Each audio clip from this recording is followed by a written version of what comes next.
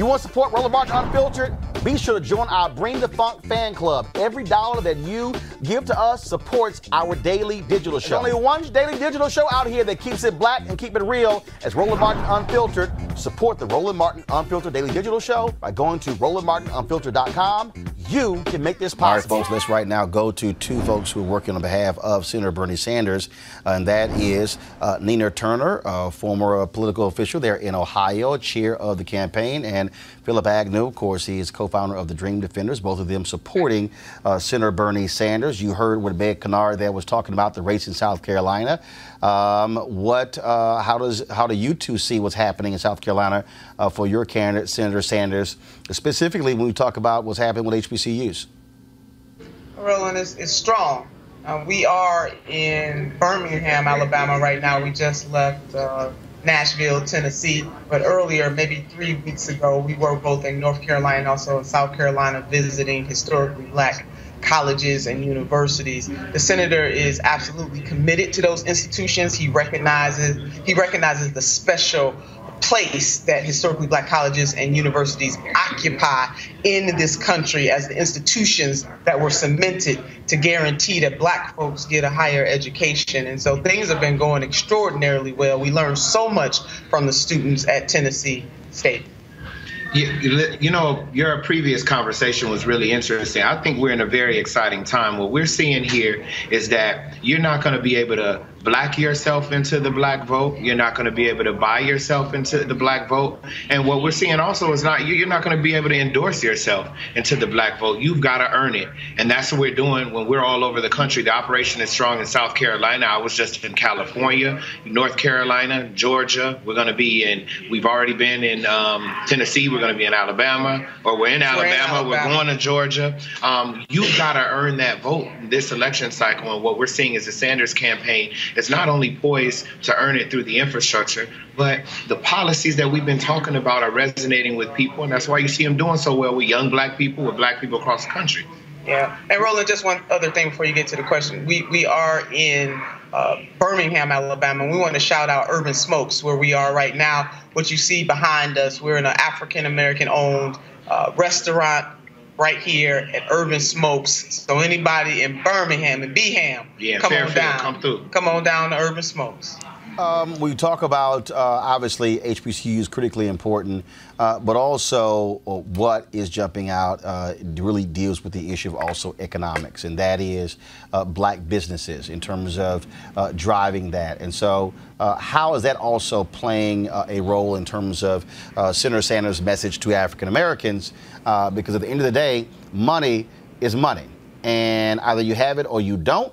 Uh, and we talk about, you can talk about mass incarceration, we can talk about police brutality, uh, but the dollar is was also critically important to black folks. No, it is, and and in terms of some of the when we talk about the infrastructure reforms that we need to have in this country and making sure that we have dollars available for black businesses. One that I want to talk about, I know before even before infrastructure, is the laser focus in on his marijuana legalization policy. Mm-hmm. Within that policy, the senator not only talks about legalizing marijuana all over this country, but taking those dollars and putting them into a grant, a pot for grants. And he names very clearly the African American community and others. And that is vitally important because he could have said all others, but he said the African American community and others, and placing that money in a pot so that African American owned businesses, that's just one example, can utilize that money, new entrepreneurship, because the very population, our community, that has taken the greatest hit for these laws that are unforgiving, especially when drugs. it comes to war on drugs. Yep. When it we we're the, our community took the greatest hit, and so our community should get the greatest lift from any legalization of marijuana. So that's one business opportunity right there. He's also talking about um, millions of dollars in investment in small businesses for minority-owned businesses and making credit available so that small businesses,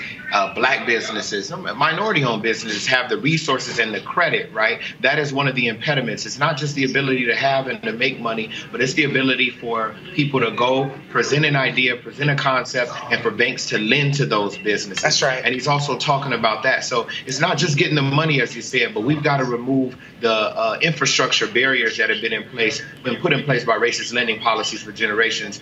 And he's talking about doing that in his platform. And his other idea, Roland, and, and he has bills for this too about the post office uh, taking over some banking mm-hmm. taking over a banking role. That is another opportunity. He talked about that really very, very much in terms of the payday lending that goes on in our community, other poor communities where they rake poor people over the coals, but making sure that our postal service can take can play a role in the banking and borrowing of money as well. All right, folks. I certainly appreciate it. Thank you so very much. Long way to go. We'll certainly have you back on the show in the future. Nina Turner, Phillip Agnew, thanks a bunch. All right, folks. Back to that Roland Martin Unfiltered video in just one moment. All right, folks. As the marijuana momentum continues, our friends at, at marijuanastock.org have already reached more than half of their funding for the hemp CBD investment.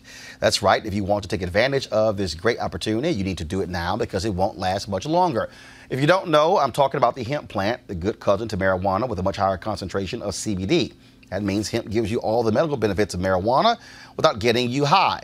Now, if you don't know, hemp farming is now legal in the United States, creating one of the largest commodities worldwide. It is an investment opportunity, and that's where the folks at 420 Real Estate come in. Their business model is simple. They buy land that supports hemp CBD grow operations and lease it to licensed, high paying tenants. That's right, they are hemp CBD landlords. You can get in on the action. As hemp continues to change the economic landscape, 420 Real Estate is allowing you to chase the American dream. The best part, you can invest in this crowdfunding campaign for as little as 200 bucks. That's right, 200 bucks up to $10,000. Now you must do it now before the fund is closed. To invest, go to marijuanastock.org. That's marijuanastock.org. Get in the game and get in the game now. Back to your Roland Martin Unfiltered video.